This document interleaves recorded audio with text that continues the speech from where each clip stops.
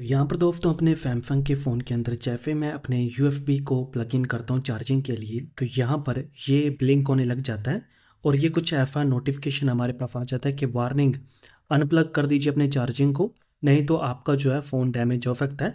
आपका जो पोर्ट है चार्जिंग का वो ख़राब हो सकता है। तो अगर आप दोस्तों इस प्रॉब्लम को ठीक नहीं करते हो तो आपको केयर में भी जाना पड़ सकता है, ठीक है? बाद में आपका ये टाइप ख़राब हो जाएगा टाइप से तो ये आपको नया डलवाना पड़ेगा, बहुत खर्चा आ जाएगा, जाने के प्रॉब्लम होगा, वो एक आधा दिन आपका फ़ोन भी रखेंगे, ठीक है? टाइम भी वेस्ट होगा।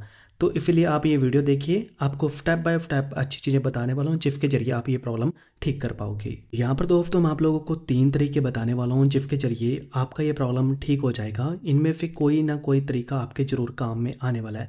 अगर आपका पहला तरीका काम में नहीं आता तो दूसरा आएगा। अगर दूसरा नहीं आता तो थर्ड ज़रूर आ जाएगा, ठीक है? तो देखिए, मैं एक बार फिर से यहाँ पर प्लग इन करके दिखा देता हूँ आप लोगों को।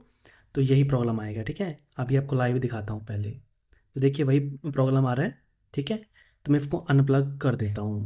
पहले मैं आप लोगों को बताता हूँ ये प्रॉब्लम आपको आता क्यों है। अभी देखिए, आपके यहाँ पर गर्मी का मौसम चल रहा है, चाहे किसी भी वजह से यहाँ पर थोड़ा बहुत पानी चल गया, आप बाथरूम के अंदर फ़ोन को ले गए तो वहाँ पर क्या होता है, ये जो है ना डैमेज हो जाता है। इसके अंदर थोड़ा सा पानी आ जाता है चाहे गीलापन जिसको आप बोल सकते हो, वो आ जाता है, ठीक है? तो उसके कारण ये चीज़ होती है। तो इसको सॉल्व करने के लिए पहले मैं आप लोगों को लाइव करके दिखाता हूँ। यहाँ पर दोस्तों, जो पहला तरीका है, उसके लिए आपको कोई भी ब्रश जो है ले लेना है। बिल्कुल सूखा होना चाहिए। और यहाँ पर आपको इसको ना स्क्रोल करना है, ठीक है? और अच्छे से ना जो गंद है इसके अंदर, जो भी है, इसको साफ़ कर लेना पोर्ट को। अच्छे से आपको पोर्ट को साफ़ कर लेना है। एंड उसके बाद आपको ये लगा के देखना है। आपका पहली बात तो ठीक हो जाएगा। अगर नहीं होता तो आपको दूसरा तरीका बताता हूँ। वो आपको कर लेना है, ठीक है? पर मैंने अभी अभी किया है देन अभी पोर्ट को लगा कर देखते हैं कि क्या होता है, ठीक है? तो यहाँ पर दोस्तों मैं इसको लगा के देखा हूँ। तो देखिए, मेरा प्रॉब्लम बिल्कुल ठीक हो गया। आप टाइम भी देख सकते हो। ऐसा नहीं कि मैं कोई फेक वीडियो बना रहा हूँ। टाइम देख सकते हो। बिल्कुल लाइव ये आपके सामने मैंने करके दिखाया।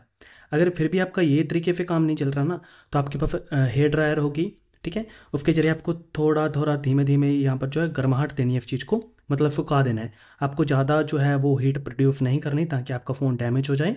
थोड़ा थोड़ा करना है। तो ये आपका हो जाएगा। अगर फिर भी नहीं होता तो आपको अपने फ़ोन को रीस्टार्ट करना है, फ़ोन कर, फ़ोन को बंद करके चला लेना है, ठीक है? उसके बाद डेफिनेटली आपका ये प्रॉब्लम ठीक हो जाएगा। अगर प्रॉब्लम ठीक हो गया तो प्लीज़ वीडियो को लाइक कीजिएगा एंड चैनल को सब्सक्राइब करना मत भूलिएगा। प्लीज़ इतना काम कर दीजिएगा। Thank for watching this video